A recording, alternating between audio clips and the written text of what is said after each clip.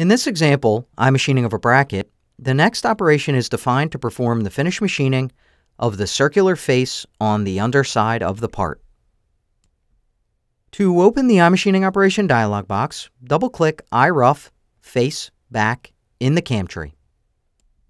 By clicking the Show button on the geometry page, we can see that two chains are defined, with the first being the outside boundary of the face and the second being an offset edge created in Autodesk Inventor. The first chain is marked as open, and the second offset chain is closed. Let's exit the Show Geometry dialog box now. In switching to the tool page, you'll see that we are again using the half-inch diameter end mill. On the Levels page, we can see that the milling levels are defined. On the Technology Wizard page, the default cutting conditions are used based on a machining level aggressiveness of 6.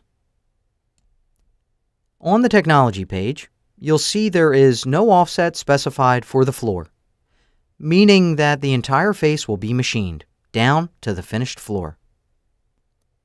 Let's click Simulate to take a look at the iMachining toolpath at work.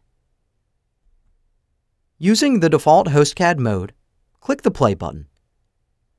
We see that the tool starts from the outer chain and performs a spiral toolpath, collapsing towards the inner chain. Let's also look at the simulation using Solid Verify. Click Play again to view the cutting tool moving through the solid stock material.